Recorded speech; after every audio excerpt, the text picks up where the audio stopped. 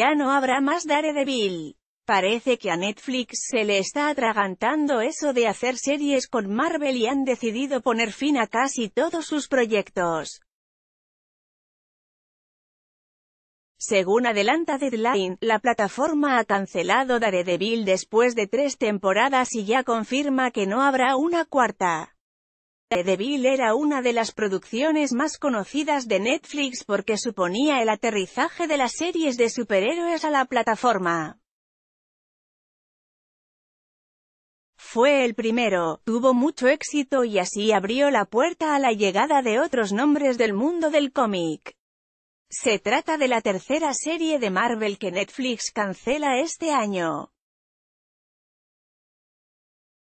Después de Iron Fist y Luke Cage, que no consiguieron la tercera temporada, le ha tocado el turno al demonio de la cocina del infierno. De momento, Netflix tiene en cartera el estreno de la tercera temporada de Jessica Jones y la segunda de The Punisher. La plataforma no se ha pronunciado sobre sus serán sus últimas temporadas.